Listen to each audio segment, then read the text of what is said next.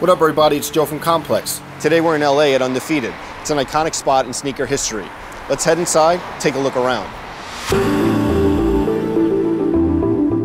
This location is on Fairfax, one of LA's most popular shopping destinations and a hotspot for celebrity customers. On any given day, you might spot Swaggy P in the store looking for Vans, John Mayer hunting for some Air Maxes, or David Beckham just kicking it with his family.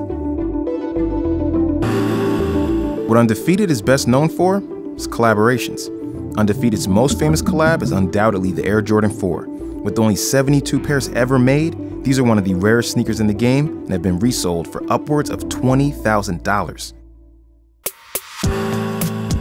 This counter houses the newest product. If you look down here, you'll see this display case under the register.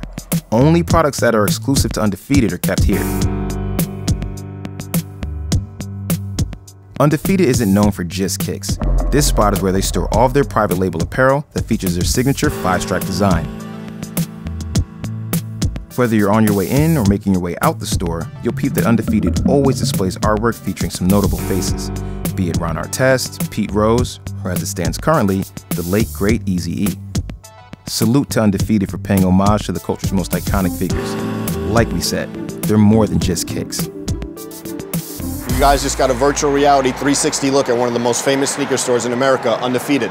Check back as we visit more shops around the country very soon.